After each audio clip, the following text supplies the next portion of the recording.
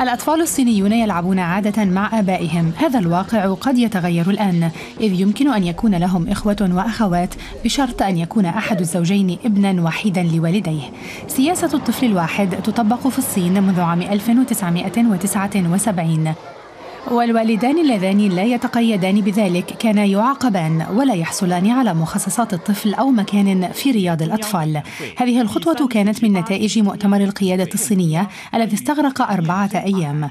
المؤتمر أقر أيضا إلغاء نظام إعادة تأهيل المعارضين في معسكرات العمل المثيرة للانتقاد عالميا والتي تأوي عشرات الآلاف من الصينيين.